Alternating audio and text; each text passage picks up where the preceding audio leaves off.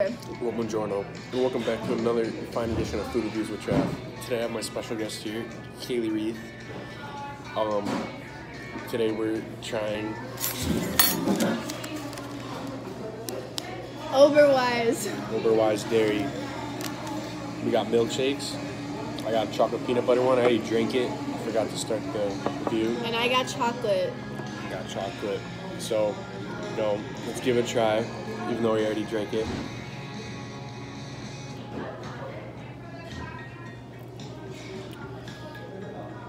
I already ate that thing. Um, so, I love Oberweis. I rate it 10 out of 10. Everyone go get it. Come to Oberweis now. of 10, alright. Come to Oberweis now. I like the peanut butter. I'm a big peanut butter guy, so I'm gonna give it like an eight seven. Love this place, so 10 out of 10. that's a review. See you guys next time on Food Reviews with Trav.